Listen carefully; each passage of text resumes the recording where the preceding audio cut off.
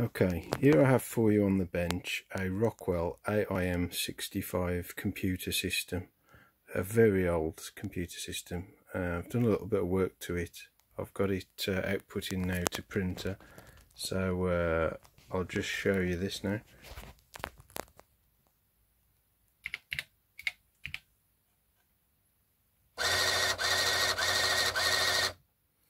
There's a little program I've uh, typed in in basic um, and I'll just run that for you to show you it working.